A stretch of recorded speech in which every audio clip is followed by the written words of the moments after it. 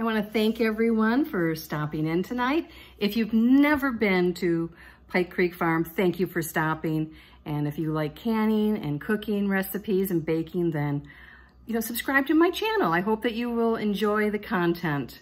And if you've been here before and are stopping back, thank you so much. I really appreciate it. So tonight we're doing a what's for dinner and it is a spaghetti casserole and it is, not spaghetti, it's a pizza casserole, excuse me. It's called pizza casserole. And I'm gonna follow the recipe pretty close, but you can doctor this up and add your own personal uh, things like it doesn't have mushrooms, but I think it'd be good with mushrooms in it. Um, any toppings that you would put on pizza, basically. So, and this is one of the recipes from the um, Ziploc bag that I have that has all the vintage recipes from back from the 70s and 80s and whenever. And this recipe was actually a recipe from a coworker and it's at least about 20 years old. And she had it for, we had a party at her house and she made it and I loved it and she shared the recipe with me. And here is the recipe. I will put everything down below. As you can see, my kids, when they were younger, wrote on this recipe. I don't know who was practicing their letters, but it looks like a clock maybe there. So they are now in their 20s and 30s, so it's, it's an old recipe. The recipe calls for a pound and a half of hamburger. I browned up two pounds of venison. Um, that's what I had in the house, and I didn't have like a pound and a half, so I figured half a pound of meat is just gonna make it better for Jim. He will like that more. And it calls for onion, and I am using some dehydrated onion that I'm rehydrating a packet of spaghetti sauce mix, oregano leaves. It calls for clove of garlic and I didn't have any fresh garlic. I used it for canning. So I'm gonna use this roasted garlic seasoning. I have tomato sauce and there are, I have them hidden up here in the cabinet, but there are some red peppers to go along with it. And you can add hot sauce if you would like to. So you mix all that up and you put it in 9 by 13 and then you sprinkle it with shredded cheese. I have shredded eight ounces of mozzarella cheese. After you put the cheese, there is like a batter that you make that has butter, they said margarine, I use butter, eggs, some oil, milk, and flour. So we mix that up and pour it on top and then you sprinkle it with Parmesan cheese before you put it in to bake. So that's what we're gonna make tonight for dinner. And since it's a nine by 13, there will be quite a bit of leftovers. The recipe um, calls for the brown meat drained. So I have that done. And now we stir in a 15 ounce can of tomato sauce.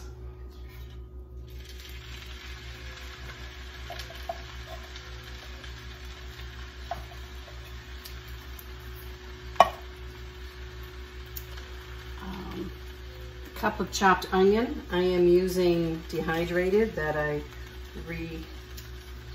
rehydrated in some water. It calls for one cup of chopped green pepper. I hid it up here from the dog. I have red pepper in the house, so that is what I'm using. That's one red pepper and then a half a cup of water.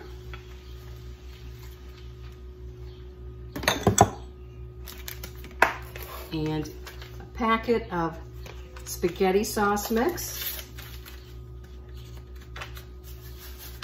Since I use two pounds of meat instead of one, I might need to add some extra liquid to this. In fact, I'm gonna add the water from the onions.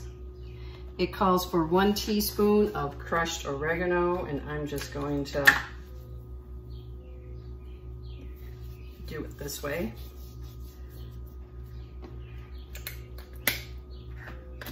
It's a good idea when you add dry spices like that to rub them up a little and activate the oils in them.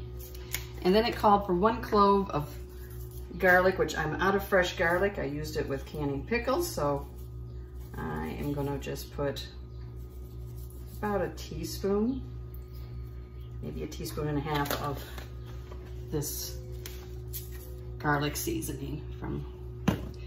So let's mix this up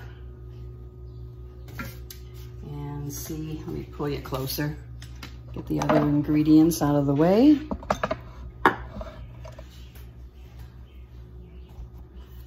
Okay, let's mix this up. And it's not supposed to be really saucy, but I'm thinking that I might need to add a little bit more, possibly.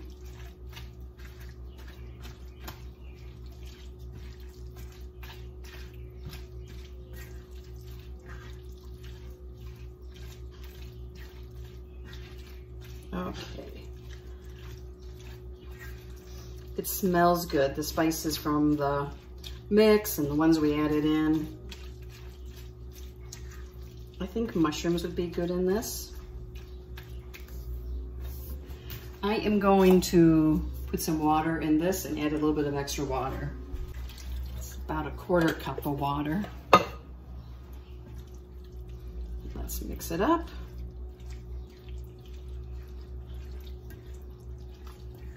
Yeah, that looks good. Now since the meat, the meat's already cooked, so we just gotta heat this all up again. It says to bring it to a boil. Okay, it is boiling now and everything is heated up.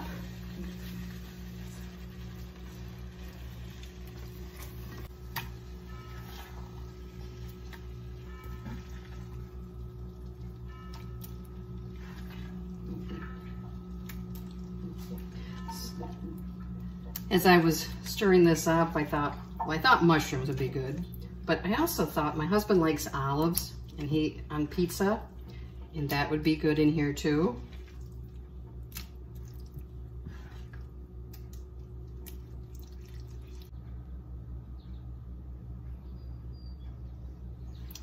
So we sprinkle the cheese on top of the meat.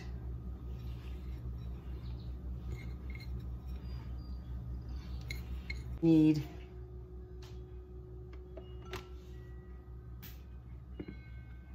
the milk, the eggs,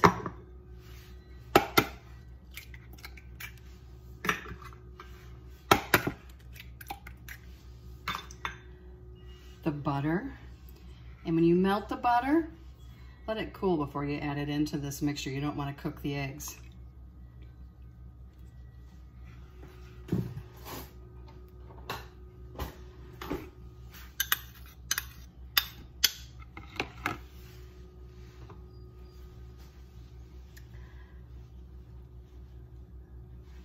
We mix this for one minute on medium speed.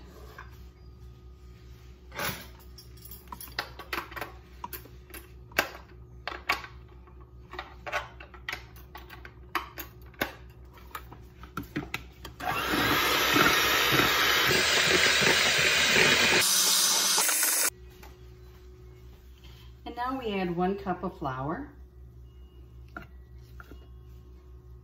I'm doing two half cups. So, so one cup of flour and then we mix it for one minute. So I'm gonna, excuse me, two minutes. I'm gonna beat this for two minutes and speed it up for you. I poured the batter over the top. I thought the camera was on and it wasn't. It's been a long day. And then I sprinkled a half a cup of Parmesan cheese. It might have been a little bit more. It was what was left in the container. So I just sprinkled that on top. You can see that. And now I am going to put it in the oven. This batter makes kind of like a puffy crust on the top and real cheesy when you cut into it. So I'm gonna put this in the oven on, at 400 for 30 minutes and I'll bring you back when it's done. It just went off and I just took it out of the oven. As you can see, the top gets kind of crusty. It's boiling. So I am going to let this cool before I cut into it. But it smells really good and I'm looking forward to it. Okay, going to serve up.